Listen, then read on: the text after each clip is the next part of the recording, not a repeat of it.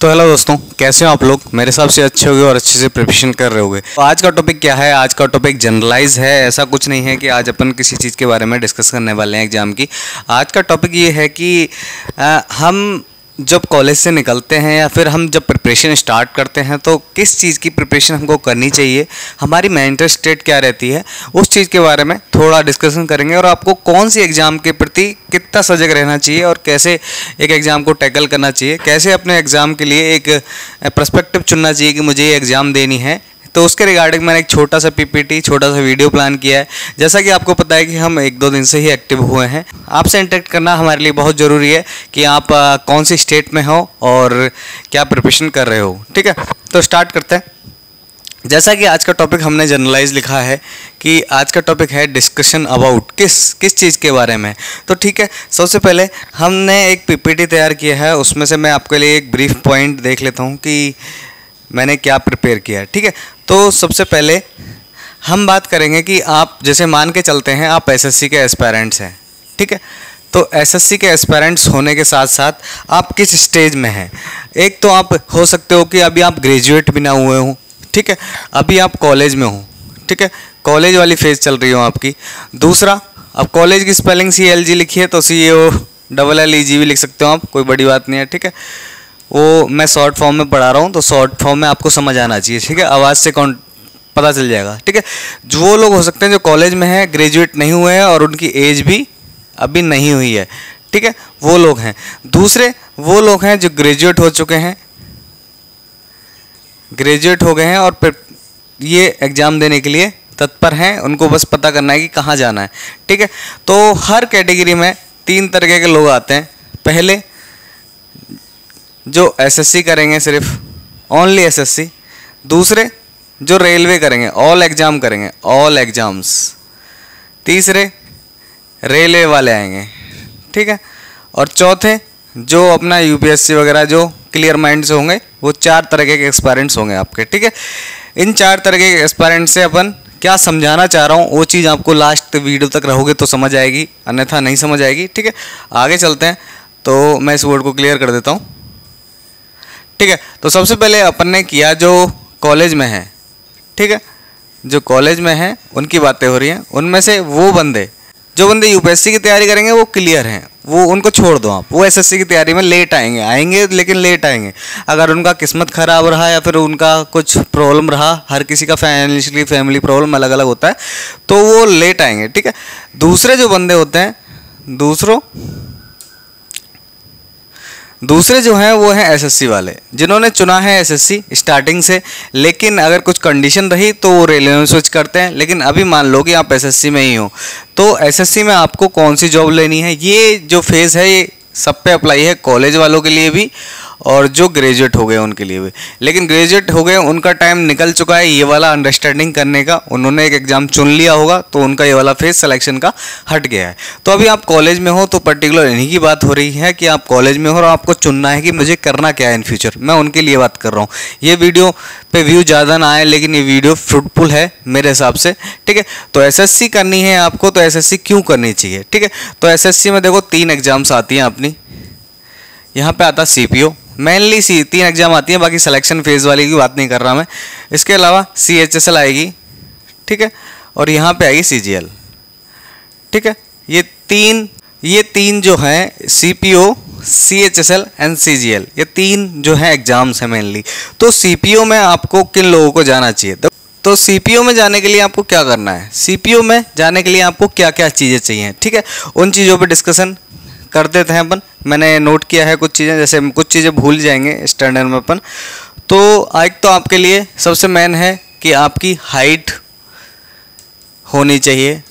Height होनी चाहिए और चेस्ट होना चाहिए, जो कि चेस्ट आपका बन जाता है। हाइट आपकी पैदाइशी होती है मतलब माता पिता से आती है, इस पर आपका कंट्रोल नहीं है, बहुत कम कंट्रोल है। तो ये अगर हाइट आपकी 170 सेंटीमीटर है यानी कि पाँच सात, पाँच फिट सात इंच से ऊपर है तो आप इस एग्ज़ाम को देने के लिए सक्षम हो। ठीक है? किसी प्रकार की कोई प्रॉब्लम नहीं अगर ना नॉर्मल हो आप। दूसरा, आप ग्रेजुएट होने चाहिए जो कि आप हो ही जाओगे अभी कुछ सालों में। अगर ग्रेजुएट नहीं होगे, थर्ड ईयर में हो सकते हो, सेकेंड ईयर में हो सकते हो। उसके अलावा, देखो, ये बेसिक रिक्वायरमेंट है, लेकिन आपको इसके लिए तैयारी क्यों करनी चाहिए? वो बात है, ठीक है? आपका जैसे एक तरीके से फ़िज़िकल वाली चीज़ों में, फ़िज़िकल अच्छा है आपका। तो यहाँ पे एक एज मिल जाएगा आपको सीजीएल वालों से। सीजीएल वाले कई एक्सपायरेंट्स होते हैं जो पढ़ने में अच्छे होते हैं तो उनका फ़िज़िकल नहीं हो पाता है। तो फ़िज़िकल की एक एबिलिटी आपके अंदर है तो आप सीपीओ दे सकते हो, आपको अच्छा खासा लीड मिल सकता है।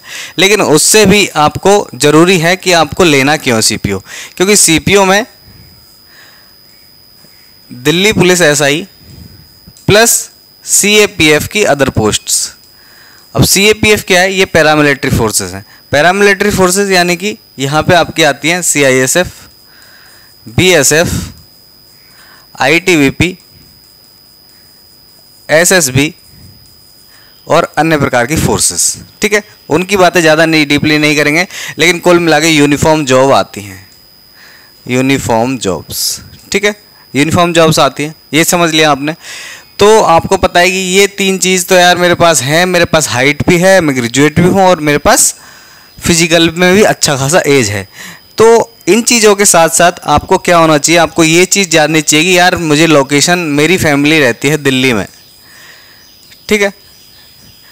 या फिर एक दिल्ली की बात करेंगे और एक नॉर्थ ईस्ट की बात करेंगे। नॉर्थ ईस्ट ठीक है? क्यों बातें कर रहा हूँ? क्योंकि बेड की बातें मैं नहीं कर सकता, वो अपने हिसाब से मैं समझाना चाह रहा हूँ, वो चीज़ें समझ सकोगे तो आप दिल्ली में हो, मान लो आप दिल्ली के रहने वाले हो तो लोकेशन आपको सबसे पहली प्रायोरिटी आपकी रहेगी कि यार मुझे दिल्ली पुलिस ऐसा ही मिल जाए और मुझे चाहिए चाहिए इन द सेंस सबको चाहिए होता है और मैं कर भी लूँगा। और तीसरा, जैसे लोकेशन के साथ साथ आपको अपना नेचर भी देखना है कि यार मेरा नेचर कैसा है, मैं इस फोर्स के लिए हूँ कि नहीं। मतलब मेरे में जो पुलिस में क्वालिटी चाहिए, वो मेरे अंदर देखो डेवलप हो जाती हैं। लेकिन एक बंदे को इनबिल्ट क्वालिटीज़ होती हैं कुछ, अगर वो आपके अंदर हैं तो आप अच्छा है वेल एंड गुड तो एक नेचर आपका जज होना आना चाहिए कि मैं हूँ। अगर आपका नेचर भी फिट करता है, फिर आपको लोकेशन भी मैच कर जाएगी। आपको पता है कि दिल्ली आपको पोस्टिंग चाहिए या नॉर्थ ईस्ट आपको पोस्टिंग चाहिए तो आपको सी की एग्ज़ाम देनी चाहिए। रीजन दिल्ली में आपकी डीपीएसआई की पोस्टिंग होती है।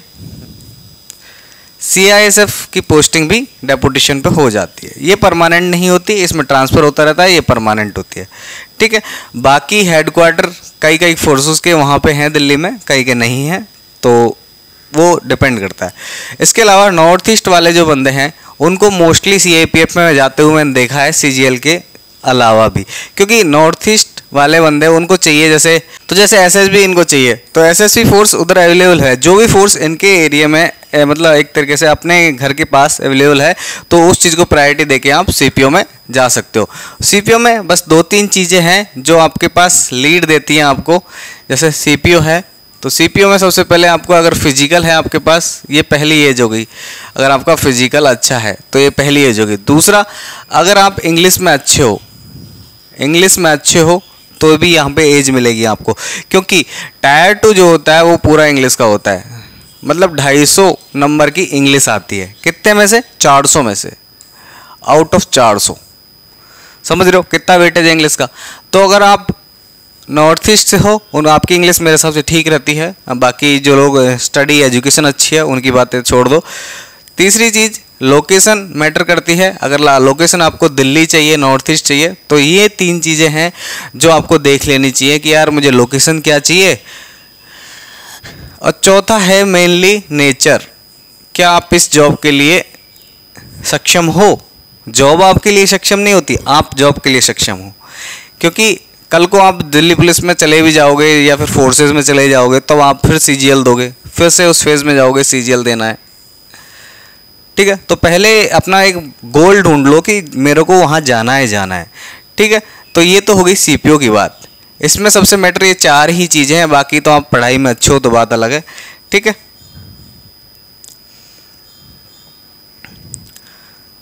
अब देखते हैं कि सीजीएल वाले लोग। तो सीजीएल में कौन लोग आते हैं? सीजीएल में मेनली फोकस एक तो जनरलाइज बंदे हैं, जो ऑल देते हैं, जिनका फ़िज़िकल भी अच्छा है मतलब वो कहीं जाने के लिए तैयार हैं जनरलाइज जनरल बंदा है एक, बिल्कुल। जो सीपीओ भी देगा सी एच एस एल भी देगा और सी जी एल भी देगा। तीनों देगा और वो हर चीज़ करेगा। उसको कोई इशू नहीं है कि मेरी हाइट उसको पता है कि मेरी हाइट ठीक है, मेरा फ़िज़िकल ठीक है तो वो ये भी देगा, ये भी देगा, ये भी देगा। ठीक है? स्टार्टिंग में, जब तक उसको क्लैरिटी नहीं आती कि मुझे चाहिए क्या। लेकिन जिसको क्लैरिटी आ गई यार सी मेरे लायक नहीं है तो वो सी का फिजिक मतलब प्री देगा फ़िज़िकल नहीं जाएगा। फ़िज़िकल नहीं जाएगा। सी एच एस एल देगा टाइपिंग नहीं है तो सी एच एस एल में टाइपिंग दे छोड़ जाएगा। अब सी जी एल है, जो कॉमन जॉब है, जिसमें हर चीज़ इक्वल चाहिए, ज़्यादा पढ़ने के हिसाब से हो आप, ठीक है? तो यहाँ पे एक फोकस्ड बंदे होते हैं, एक यूपीएससी वाला बंदा निकल जाता है कभी कभी और एक फोकस्ड है, जो सी जी एल ही देगा। ठीक है? तो ये बंदे बहुत कम मात्रा में पाए जाते हैं। ये बंदे हाई प्रायोरिटी में पाए जाते हैं, जो हर एग्ज़ाम देते हैं। तो आप कौन से वाले हो? और एक यूपीएससी वाले होते हैं, जो कुछ कुछ आते हैं और सी पहली या दूसरी बार में निकाल के ले जाते हैं। तो कुछ बंदे अलग हैं और कुछ रेयर केस होते ही हैं, ठीक है? तो आप किस क्राइटेरिया में आते हो? तो ये देख लो आपको कि आप किसमें आते हो। आपका क्या अच्छा है, क्या अच्छा नहीं है, ठीक है? जैसे अगर पैटर्न की बात करूँ मैं तो सी एच एस एल और सी सी जी एल दोनों का पैटर्न सेम है। बस यहाँ पे टाइपिंग ज़्यादा है। टेन प्लस टू में जो टाइपिंग है, वो सी जी एल से ज़्यादा है। यहाँ पे थर्टी फाइव वर्ड पर मांगते हैं, यहाँ पे पच्चीस मांगते हैं। और यहाँ पे डी ओम पचास भी मांगते हैं। ठीक है? तो ये चीज़ एक जनरलाइज आपको लग रहा हो कॉम्प्लेक्स है, लेकिन कॉम्प्लेक्स नहीं है। लेकिन आपको चीज़ें किस चीज़ पे फोकस करना चाहिए, वो चीज़ मैं बता रहा हूँ। अगर आप एसएससी ही बातें करते हो सिर्फ़ ओनली एसएससी आपका टारगेट है तो। तो आपको अगर एसएससी टारगेट है तो सीएचएसएल और सीजीएल तो आपको ऐसे देना चाहिए जैसे आप सी एच एस एल में भी ना हो आपका तो भी आपको सी जी एल के बराबर दुख होना चाहिए।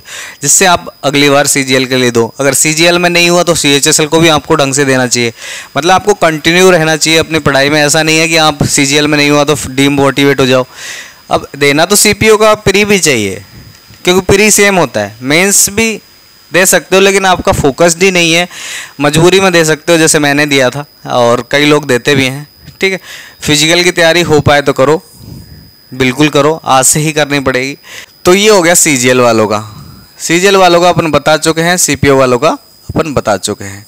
सीएचएसएल में ऐसा कुछ नहीं है। सीएचएसएल सीधा सा है। सीएचएसएल में ये है कि आपको टाइपिंग आनी चाहिए। टाइपिंग आपकी अच्छी होनी चाहिए, टाइपिंग।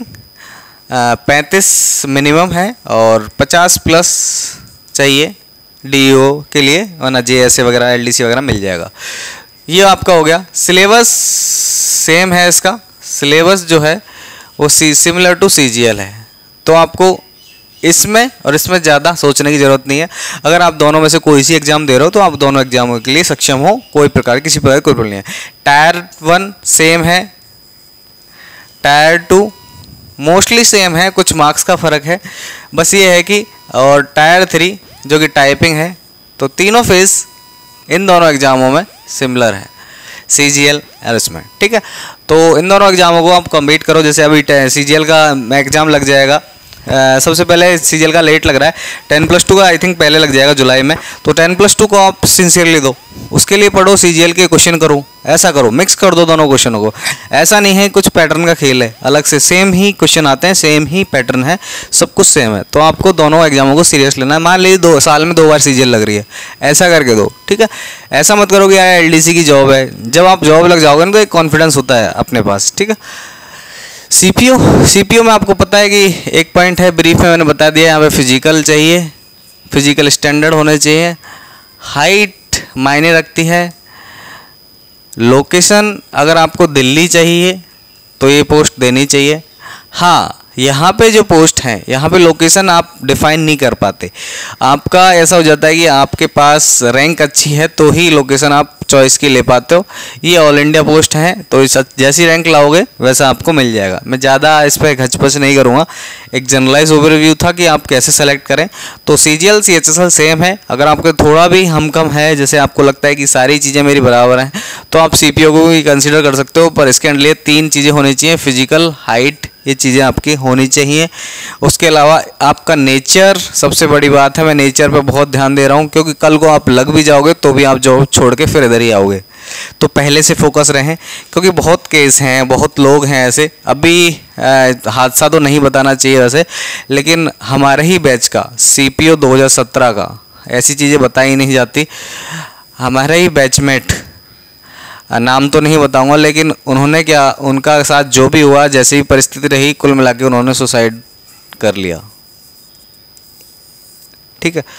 तो देखो रीज़न क्या रहा हो, ये अपने को पता ही नहीं है, लेकिन जॉब का भी कुछ प्रेशर रहता है, और भी अदर प्रेशर होते हैं इंसान पे। तो ये वाली चीज़ नेचर वाली, थोड़ा सिंसियरली ध्यान दें। पता चला आपने सीपीओ टॉप कर लिया। सी में अच्छी रैंक मिल के दिल्ली पुलिस एस ले ली, फिर आप कौन से हो गया सी देना चाहिए था? तो सीजीएल दो फिर। तो पहले ही डिसाइड कर लें कि कौन सी पोस्ट देनी है। हालाँकि इन दोनों जॉब पोस्ट के साथ आप सीपीओ दे दो, कोई प्रॉब्लम नहीं है। लेकिन सीपीओ पे इतना फोकस मत करो कि सीजीएल छूट जाए। ठीक है? तो ये तीनों पोस्टें हो गई। अब आते हैं रेलवे वाले बंदे। तो रेलवे वाले बंदे कौन हैं? तो रेलवे में वो लोग हैं मोस्टली। एक जो है शुरू से रेलवे का क्रेज़ है। स्टार्टिंग जो है टॉप लोग हैं रेलवे की। इच्छा लेके पैदा हुए हम रेलवे में जाएँगे। दूसरे, जो एसएससी से भागे हुए हैं। और रेलवे ने रेलवे पकड़ लिया उन्होंने। ठीक है? रीजन? कुछ लोग तो वो हैं जो इंग्लिश बहाना मार देते इंग्लिश नहीं आती। और दूसरे वो लोग हैं जिनका सी इस बाई डिफ़ॉल्ट इसमें नहीं हुआ तो इसमें सिलेक्शन हो गया, या फिर इसका वो बैकअप देते हैं बैकअप बना के देते हैं, इसको बैकअप ठीक है? यहाँ पे किन लोगों का फ्यूचर खतरे में है? इन लोगों का इंग्लिश वालों का। ऐसा भी नहीं है, क्योंकि इनके पास एरिया कम है। हालाँकि इनका सिलेक्शन रेलवे में हो सकता है चांसेस इनके रेलवे में होने के ज़्यादा हैं। अगर आप फुली फोकस रहें तो ये रेलवे में अच्छा इनको टक्कर दे सकते हैं इन लोगों को, जो सीजीएल से आए हैं घूम घाम के। तो आप चॉइस कर लें स्टार्टिंग से ही कि मेरे को चाहिए क्या, मेरे से क्या हो सकता है। जैसे रेलवे में वैकेंसी अभी आई हैं एस आई की वैकेंसी चल रही हैं, पंद्रह तारीख लास्ट डेट है कांस्टेबल की चल रही हैं आरपीएफ में, और टेक्नीशियन की आई थिंक ख़त्म हो गई हैं, और ए वगैरह की भी आती हैं। तो पोस्टें काफ़ी आती रहती हैं। आप नॉन टेक से होने चाहिए ग्रेजुएट होने चाहिए, ठीक है।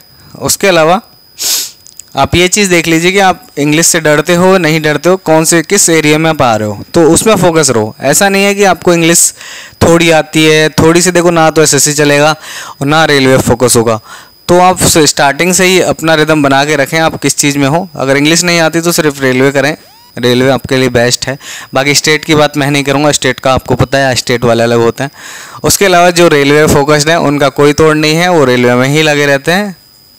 या तो उनका सिलेक्शन होता है। अगर वो हार नहीं मानते तो अगर हार मान जाते हैं तो फिर वो बैठ जाते हैं। फिर वो भगवान ही मालिक है उनका कि क्या होगा। ऐसे कह नहीं सकते किसी की लाइफ में। क्या पता वो अच्छे बन के और कुछ स्टेट का निकाल लें। ठीक है? तो ये एक जनरल ओवरव्यू था कि कौन से लोग, किस प्रकार के लोग कौन कौन सी एग्ज़ाम की तैयारी करते हैं। ठीक है? बाकी देखो एग्ज़ाम रेलवे हो या एसएससी हो। तीन चीज़ें सेम हैं तीनों में। कॉमन है इनमें मैथ है रीजनिंग है और जीके है। अभी हो सकता है कि कभी रेलवे की जीके ख़राब आ जाए, कभी एसएससी की ख़राब आ जाए, कभी रीजनिंग इसकी अच्छी आ जाए, कभी रीजनिंग उसकी ख़राब आ जाए। यहाँ पे जो फ़र्क है वो इंग्लिश का है। तो इस पर देख लीजिए आपकी कमांड कैसी है। और अगर आप कॉलेज में हो तो इंग्लिश की कोचिंग स्टार्ट कर लीजिए, जिससे आप दोनों के एग्ज़ाम दे पाओ। सबसे पहली प्रायोरिटी आपकी इंग्लिश होनी चाहिए कि इंग्लिश को मेरे को निकालना है। इंग्लिश में अगर ढीला रहा तो मेरी, मेरा आधा हो जाएगा इसमें से। मैं रेलवे इस साइड चला जाऊँगा, ये छूट जाएगा। तो पहले अगर आप कॉलेज में हो तो ये चीज़ देख लीजिए। अगर ग्रेजुएट हो गए हो तो भी इस एरिया पे ज़्यादा फोकस करिए। क्योंकि आपने इस एरिया को छोड़ा तो आप आधा एसएससी तो छूट गए। मतलब एसएससी वाला पूरा पार्ट छूट गया। लेकिन दोनों को कंबाइन करके पढ़ो या फिर दोनों को बाइफिकेट कर लो, कैसे पढ़ना है आपको, आपकी रुचि क्या है, ठीक है? बाकी तीनों जॉब के बारे में मैं एस की बात कर चुका हूँ रेलवे में बात कर चुका हूँ कौन कौन से लोग कैसे कैसे प्रिपरेशन करनी चाहिए, किस एरिया में आप हो, आपको एक तरीके से पहले ही कदम ले लेना है कि मैंने जिस चीज़ की तैयारी करी है, मुझे उस चीज़ का टारगेट लेना है।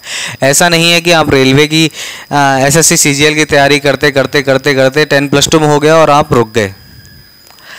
तो देखो, आप रिग्रेट रहने वाला लाइफ में लाइफ में रिग्रेट ही सबसे बुरा है। आपको जो मुकाम आपने बोला है कि मुझे ये करना है तो उसके प्रति एक तरीके से फोकस रहें। और सीपीओ वाले एस्पायरेंट्स जिनों का सी में सिलेक्शन भी हो गया है, और सीपीओ में या फिर इन फ्यूचर देने वाले हैं, वो अपने एक तरीके से नेचर अपने आसपास की परिस्थितियाँ, सबको देख लें कि मैं इस जॉब में क्यों जा रहा हूँ। सिर्फ़ हाइप पर ना जाएँ। किसी भी पोस्ट को हाइप से ना जनरेट करें कि मुझे ये अच्छा लग रहा है, ये बंदा इतना घूम रहा है, ये इतना कमा रहा है तो मैं इस पोस्ट को लूँगा। तो उस चीज़ पे थोड़ा ध्यान रखें। बाकी कुछ नहीं है। अपने नेचर के हिसाब से, अपनी सिचुएशन के हिसाब से पोस्ट की प्रेफरेंस लें एग्ज़ाम चूज़ करें और प्रिपरेशन ऐसी करें, एक दो टीचरों को पकड़ लें फोकस्ड रहें और कुछ ही। सोशल मीडिया पे देखें भी तो एग्ज़ाम से रिलेटेड ही देखें। ऐसा नहीं है कि कुछ भी देख रहे हैं। ठीक है? तो वो आपकी इंडिविजुअल पर्सनैलिटी आप कैसे हो, कैसे डील करते हो? तो मेरा एक ओवरव्यू था कि एग्ज़ाम में कौन कौन से लोग कैसे कैसे सिचुएशनों में रहते हैं। सबसे पहली बात, अपने आप को कंट्रोल में रखो।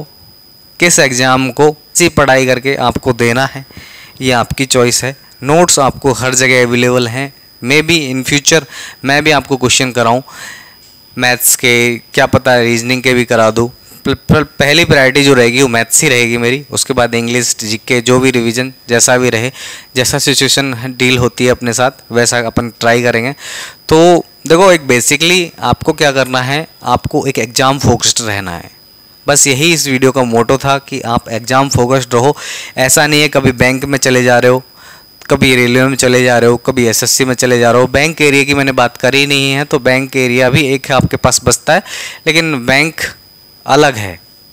और बैंक में लोग कम रुचि रखते हैं रखते हैं, जो बैंक में ही जाते हैं, ठीक है? तो बैंक का मैंने नहीं किया, मैंने एसएससी और रेलवे का ही बोला है, ठीक है? तो आपका अंडरस्टैंडिंग क्या है तो उस हिसाब से बताइए। एक वीडियो थोड़ी कॉम्प्लेक्स हो गई है, मानता हूँ, क्योंकि प्लानिंग पूरी नहीं थी और पहली वीडियो है तो थोड़ा गलती हो तो इग्नोर कीजिएगा। इसी के साथ जय हिंद, जय भारत बाय